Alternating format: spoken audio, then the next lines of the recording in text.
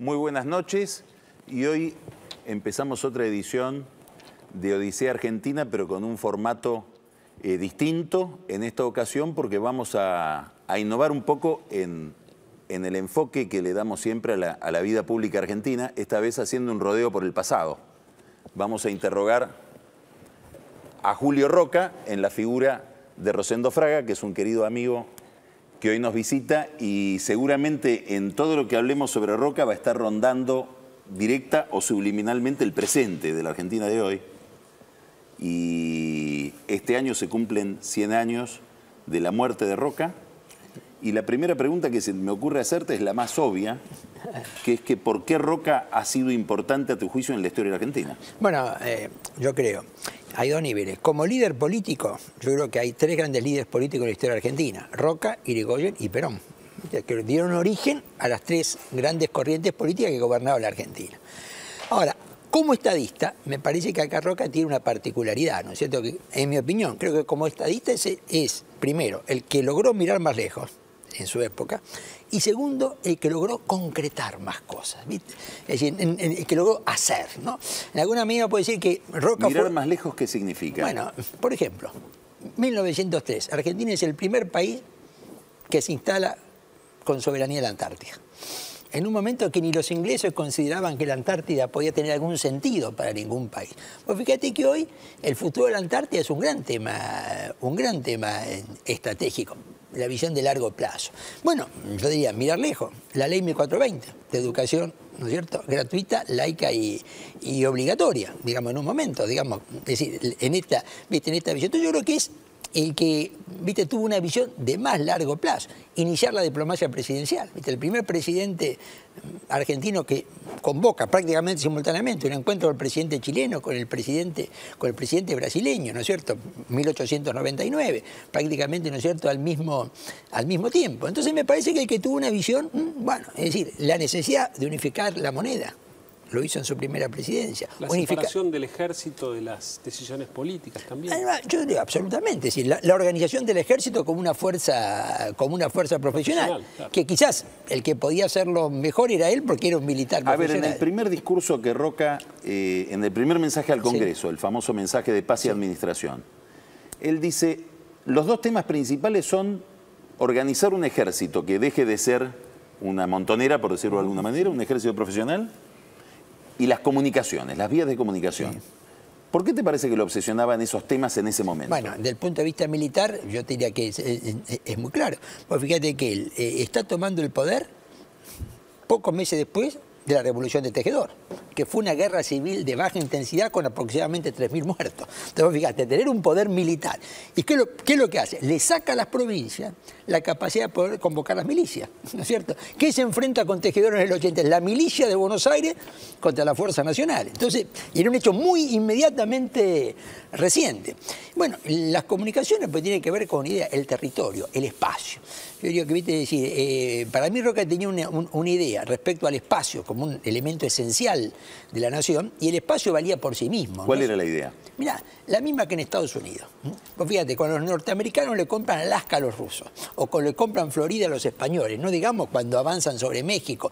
la idea es que el territorio hacía, ¿no es cierto? Ahora, cuando nosotros ocupamos la Patagonia, viste, la Patagonia para muchos era inservible económicamente, no, no tenía condiciones para ser, para ser vivida. Cuando avanzamos sobre, ¿viste? sobre la Antártida, era un gran elemento de largo plazo. El territorio hacía el poder nacional, hacía la nación. Tal vez convenga detenernos un minuto en el personaje antes de seguir sobre las ideas, ¿no?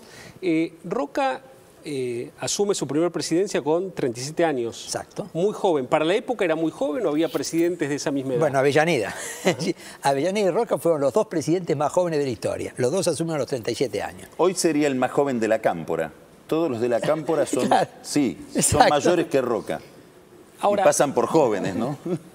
Roca se forma en Concepción del Uruguay, en un colegio de avanzada para esa época. Sería lindo que cuentes qué era el Colegio de Concepción del Uruguay. Y otra cosa, otra pregunta es, ¿Roca representaba las ideas del momento o fue el emergente de ideas eh, novedosas? Es decir, ¿fue heredero de una formación que desembocaba en lo que fue Roca o Roca innova y rompe eh, Bueno, dos cosas, lo que, lo, que dice Carlos. ¿no? El Colegio Concepción del Uruguay es el colegio que organiza Urquiza para formar la clase dirigente. Ese es su, objetivo.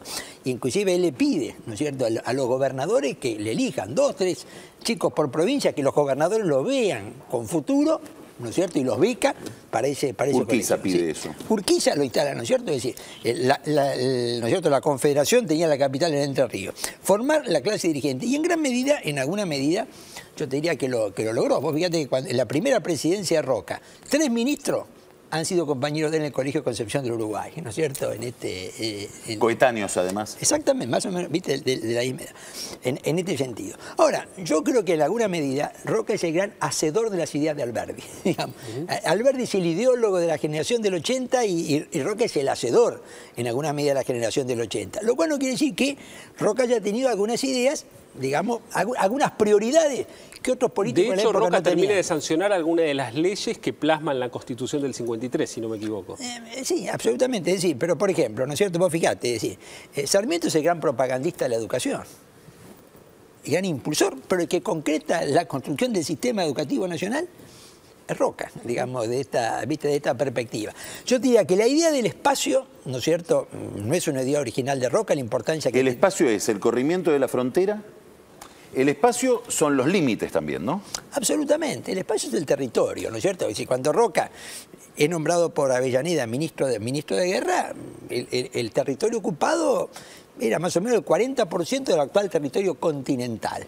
Si hoy uno toma el mapa, viste que el mapa oficial a partir del 2010 pone la Antártida en escala, eh, en la misma escala. Si vos tomás ese mapa así y mirás lo que la Argentina ocupaba al momento que Roca, ¿no es cierto?, llega al Ministerio de Guerra, es decir, es el 40% del territorio continental. Si uno agrega la Antártida es el 25% del, ¿viste? Del, territorio. Ahora, no todos pensaban lo mismo. A mí mucha, mucha, siempre digo, Alcina, ¿cuál es la, diferencia entre Alcina, ministro de Guerra de Avellaneda y de, y, de Roca? Bueno, la idea de Alcina era muy concreta. Hay que ocupar lo que se explote económicamente. La idea de la zanja, no solamente una idea defensiva, es decir, mire, gastemos en ocupar lo que se explote económicamente. Lo que no se va a explotar económicamente, no tiene sentido que gastemos en, en ocuparlo. Acá donde había una, idea diferente en Roca, es decir, cuando Roca, sobre todo, llega a la presidencia y, avanza hasta, hasta Tierra del Fuego, eso no tenía un valor económico. Pero también una concepción sobre el rol del sector privado, tal vez. ¿no? Yo genero el territorio, genero las condiciones y va a surgir la actividad económica ahí. Sí, pero yo te diría que este, eso era muy claro hasta el Río Negro. Aquí hasta el Río Negro había condiciones de explotación económica, era muy claro. Que la Patagonia iba a ser explotada económicamente, eso no estaba tan claro. Por eso los chilenos en alguna medida en ese momento, como te diría, renuncian a la Patagonia. ¿Pero en esa época fue explotada económicamente o, eh, o con el paso del tiempo? Con el paso del, tiempo. ¿Viste? Con el paso del tiempo. Sí, Darwin. ¿Es una idea que a Roca le viene de su condición de militar, te parece? ¿Esa idea del espacio? Bueno, es muy parecida. La misma idea tenía la, en Estados Unidos. ¿Viste? Estados Unidos, cuando compran Alaska, ¿qué valor económico tenía Alaska? No sé si te vas a decir. Bueno, ¿viste? Eh, pero como cuando Roca ocupa la Antártida, tampoco tiene valor, ¿viste? valor económico, pero el espacio hace al poder nacional, hace, ¿no es cierto? En esta, en, en esta perspectiva. No todos, insisto, pensaba lo mismo. Decía, mira, gastar dinero en ocupar lo que no se va a usar no tiene sentido. Siempre digo, cuando Chile, en 1879, va a la guerra con Perú y Bolivia, hay una, ¿viste? una idea económica. El futuro de Chile está en el norte, está el guano, está el salitre.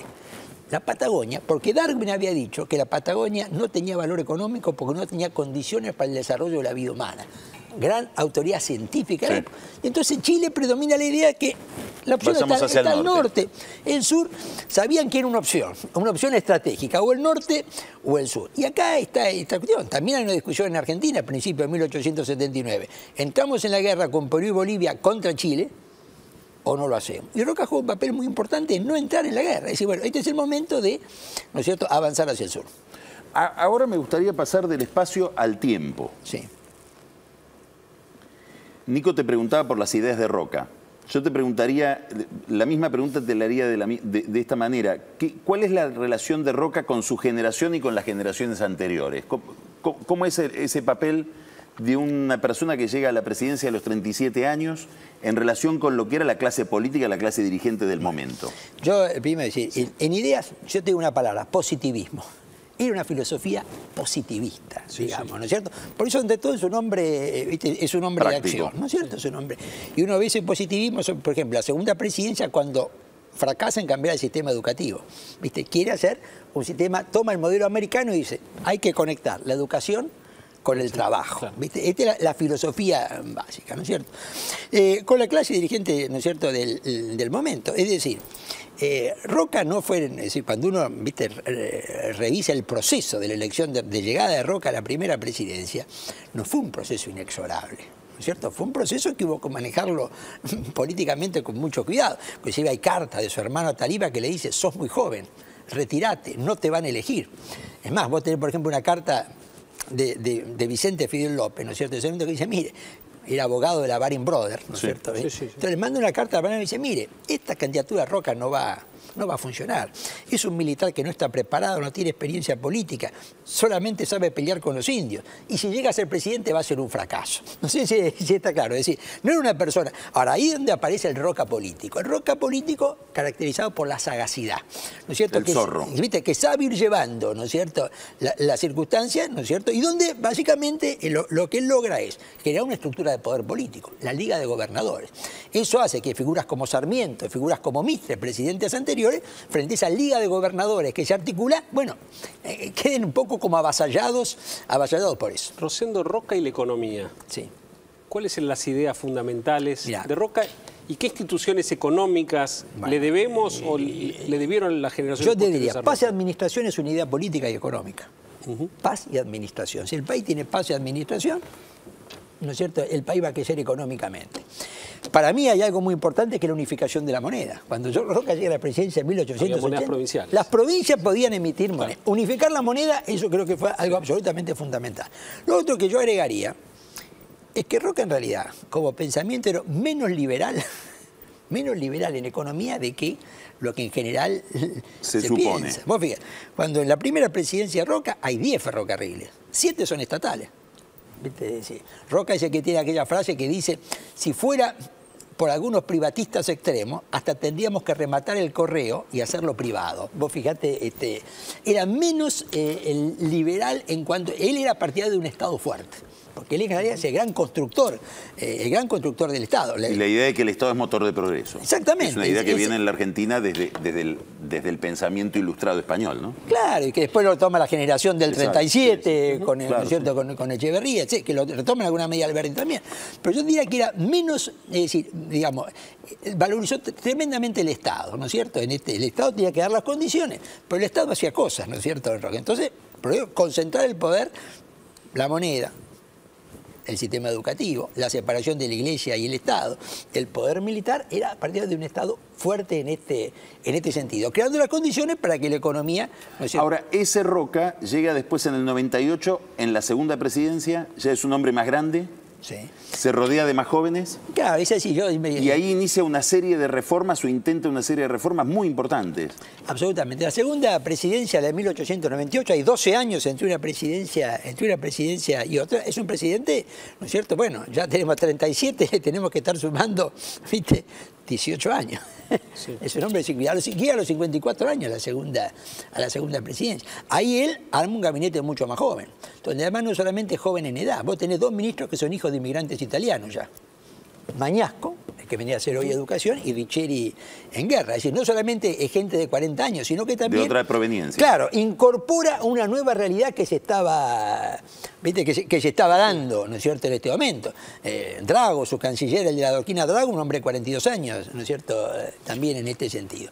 Pero es una presidencia donde él básicamente lo, lo que intenta, es decir, eh, tenemos que hacer reforma. La reforma educativa, la reforma militar, ¿no es cierto?, que es otra, otra reforma realmente. Tiene un proyecto inclusive de restatizar ferrocarriles en ese momento, porque había una serie de críticas, ¿no es cierto?, a los, a los ferrocarriles. Bueno, hay un tema con el trabajo, ¿no? Estamos hablando de, un momento donde en la Argentina hay actividad sindical ya, aparecen las ideas del socialismo, del anarquismo traídas asociadas a la, modernización del país y a la, inmigración. Digamos, hay una cuestión laboral... ¿cómo decís, Una reforma electoral del año 1902.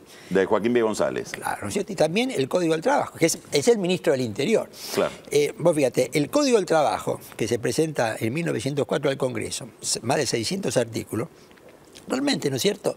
Uno lo, lo, revisa hoy, lo lee hoy, esos 600 artículos, y yo diría que nada que hiciera el peronismo en los años 40 dejaba de estar en ese, eh, ¿no es cierto?, en ese código. Ahora, la reforma electoral de 1902 toma el modelo inglés. Roca admiraba el modelo político inglés y el modelo ele electoral inglés. Por eso establece elección voto libre y por circunscripción, tomado del modelo, del modelo anglosajón. Ahora, ¿qué pasa? La reforma electoral se sanciona y la elección de 1904 se hace con esa ley electoral. Eh, es la elección en la que Palacio se convierte como diputado por la Boca en el primer so diputado socialista de América. De América Latina, exactamente. Entonces, ahora, ¿cuál es el, el, el punto en esto? Eh, la idea de él era un proceso gradual, ¿no es cierto? Como habían hecho los ingleses, porque los ingleses, ¿no es cierto?, habían, hecho un proceso, habían ido ampliando la participación política en forma gradual. Ahora, uno mira las elecciones de 1904 y dice, cambió poco. Pero en cuanto Roca dejó la presidencia, lo primero que hizo el Congreso fue derogar la ley electoral, porque un poco la estructura conservadora la consideraba en alguna medida una, ¿no es cierto? una amenaza. Y el Código del Trabajo lo presenta en mayo de 1904, pero en cuanto él deja de ser presidente, pierde. O sea, tu idea es que él, él estaba como pasado pasado respecto de su época. Y en, esa, no? en, la segunda presidencia yo te diría que sí, porque lo que logra concretar es la reforma militar, ¿no es? La, reforma militar con el servicio militar obligatorio, etc. Logra la reforma electoral, pero apenas se va, se la droga. La reforma social queda ahí y el Congreso nunca, nunca la trata. La reforma educativa se la bloquea el Congreso, que es una reforma educativa, ¿no es cierto?, digamos, tomando el modelo estadounidense, saliendo del modelo francés enciclopedista. Pero eso el Congreso tampoco se lo aprueba. Eh, Ahora, sí. me gustaría preguntarte, estás hablando de roca militar, bueno, tu, tu abuelo fue ministro de guerra de Roca, ¿no es Fue cierto? Rosendo sí, Fraga. Sí. Y, y, tu padre era un admirador de Roca también, sí. militar también. Rosendo Fraga. Sí. Pero te quiero preguntar por otro militar y Roca. ¿Qué pensás que pensaría Perón de Roca? Bueno, eh, primero vamos a un hecho. Cuando Perón, Perón nacionaliza los ferrocarriles, al ferrocarril del sur le pone roca. Es decir, eso es un hecho, uh -huh. eh, es, es, un hecho concreto. Es decir, Perón era un admirador de, de Roca, ¿no es cierto? Como había sido también un, un, admirador de General Justo. Es decir, había sido admirador de los dos militares profesionales que habían sido políticos. líderes políticos, políticos exitosos. Roca, ¿no es cierto? Y Roque Justo. Es decir, Perón entra después en una línea donde en su discurso no lo cita, ¿no es cierto?, demasiado a Roca. Pero en alguna medida, pues eso, le pone el nombre al, ¿no es cierto?, al ferrocarril, en alguna medida lo consideraba dos antecesores exitosos. La idea que hoy parece inconcebible, pero en aquella época, ¿no es cierto?, alguien que pudiera ser el caudillo político y militar al mismo tiempo, aparecía como una condición esencial que Perón, Perón tenía, que habían tenido Roca y que habían tenido Justo también. Y, y me gustaría hacerte otra pregunta. Vos hablabas de la Liga de Gobernadores. Sí. Roca es un hombre del interior, es un tucumano, sí. vinculado a familias cordobesas, etc. Arma una política territorial que a nosotros sí. hoy con las categorías de hoy nos cuesta pensar, pero que tal vez tendríamos que volver a pensar porque empieza a aparecer de nuevo la Yo creo que exactamente, bueno, exactamente. Ahora, nosotros desde el año 2001 en adelante estamos en una política extraordinariamente condicionada por el factor bonaerense. Uh -huh. Digamos, sí. desde Dualde y el mismo Kirchner, sí. es como una alianza entre la provincia de Buenos Aires y el Estado Nacional sí. en detrimento de las demás provincias. Exactamente al revés de lo que pensó Roca, digamos, ¿no? que era que las, las provincias del interior iban a constituir el Estado Nacional para encuadrar a la provincia de Buenos bueno, Aires. Bueno, que en alguna medida fue así, digamos, las provincias, ¿no es cierto? ¿Cómo ves hoy a la Argentina del interior? ¿Cómo ves esta Argentina que tiene casi como oferta política única, pareciera hoy, a, a dos hombres de la provincia de Buenos Aires y otro bueno. que es más o menos lo mismo, del área metropolitana, digamos, y, ¿no? Y un dato, el presupuesto. Es decir, eh, en el presupuesto de 2015 las provincias tienen la menor participación en los recursos nacionales de la historia. A pesar que ellos han tenido un piso entre el 50 al máximo y el 25%. Estamos en 25%, el menor, lo cual, ¿no es cierto?, también te está, ¿no es cierto?, manejando. Bueno, eh, yo siempre digo, ¿sabés que durante un siglo y medio ningún gobernador de Buenos Aires logró ser presidente sí. de la nación? Es decir, desde la Constitución de 1853 ninguno logró ser electo, ¿no sí. es cierto? Porque siempre había una conjunción. La Casa Rosada veía al gobernador como amenaza. Y el interior decía, si se juntan en las mismas manos el poder nacional y bonaerense, ¿no es cierto? Se Bueno, eso pasó. Se desequilibra, se desequilibra el, el, ¿no es cierto? El, el sistema político en detrimento del interior. Yo creo que acá hay una reforma clave que es la eliminación del colegio electoral. La eliminación del colegio electoral en el año 94 hizo que la provincia de Buenos Aires, tener el 28% del colegio electoral, pasara a tener el 40% del voto efectivo al momento de votar. El conurbano tiene el 24, uno cada cuatro votos para elegir presidente está en el conurbano, en el conurbano bonaerense. Y entonces, ¿qué es lo que está? Esto ha generado un, cambio geográfico en, geográfico en la política. Por eso, exactamente como vos decís, de los, no solamente de, la- de los tres candidatos que están hoy en primera posición, dos son de la política bonaerense y otro de la política porteña. O sea, nunca estuvo el poder tan concentrado en Buenos Aires.